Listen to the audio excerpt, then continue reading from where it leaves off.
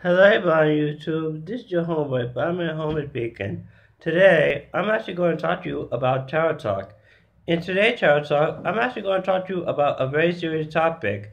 It's about uh, uh, tarot, tarot, readers' safety. So anyway, a few days ago, I happened to be writing, writing in uh, a message uh, to uh, to Biddy Tarot, and and a professional tarot reader who happened to be the owner of Biddy Tarot, Brigit, uh, uh, replied back.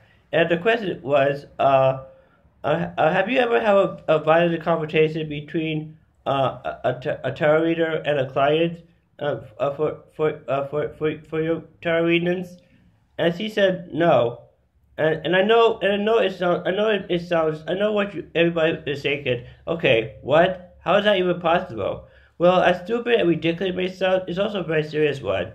Um, uh, uh, uh, because because number one, your safety is your, is your number one priority, and and chance of, of that happening is is very rare. Like I say, I just give it about by one percent one percent of it, and and, it, and it's almost pretty. It is almost non non-existent.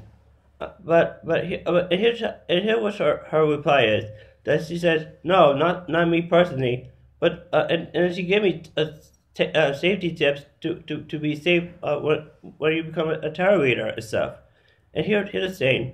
If you feel like you're being threatened or you're under attack by, by a client, you can always call police.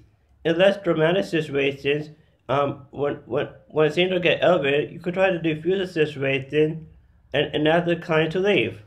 So anyway, uh, those are tips I could give, I could, I could, I could tell you, uh, for, for any, for, for all tarot readers. So anyway, this, this is your homeboy, Bobby Homer sign off. Peace.